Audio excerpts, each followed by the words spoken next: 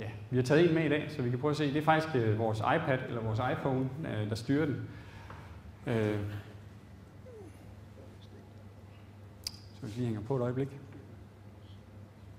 Men øh, tankegangen i det her, det er en airdrone, et øh, fjernstyret element, og der sidder et kamera foran. Det er det, I kan se der.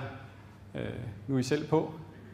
Øh, der sidder også et kamera i bunden, og så øh, skulle målet være lige nu, skal nok lade være med at flyve for langt ind over jer. Men det er så øh, iPhone'en nu, der styrer den. Og hvis du så tipper lidt til den ene side, så kan I se gyroen.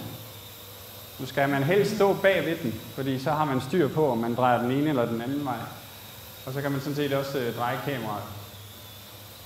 Nå. Nå. Du må hellere lande. Prøv bare at lande. Det var fint nok.